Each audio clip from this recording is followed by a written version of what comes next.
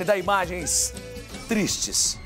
Por que, que eu falo imagens tristes? Você vai ver agora o momento que um, um, um, jovem de 18 anos, uma jovem, perdão, de 18 anos, é assassinada com cerca de 30 facadas. Imagens na tela para o Brasil. O namorado, apontado como principal suspeito, foi preso tentando fugir. Ele levou a vítima para o local do crime com uma desculpa de ver a lua e tomar um vinho.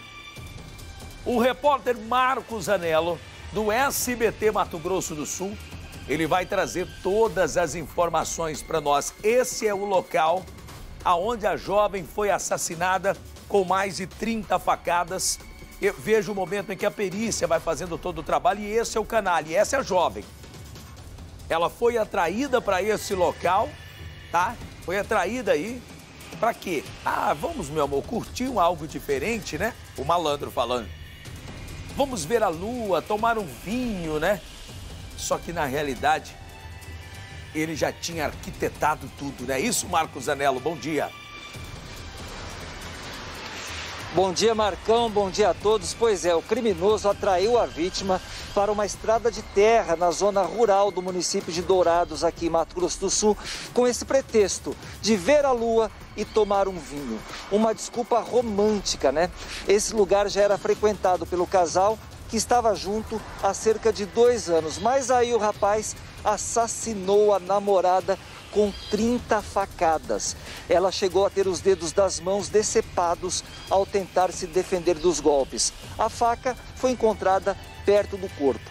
Esse crime foi na madrugada de terça-feira e olha só, hein? Ah, o motivo desse crime é que a moça estaria para terminar o relacionamento.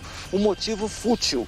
Larissa da Silva Cruz tinha 18 anos. O assassino Luciano Pedraza de Oliveira, de 25 anos, ele foi preso na noite de ontem dentro de um ônibus na divisa de Mato Grosso do Sul com São Paulo. Ele tentava fugir para a capital paulista. Agora está preso, já está em Dourados.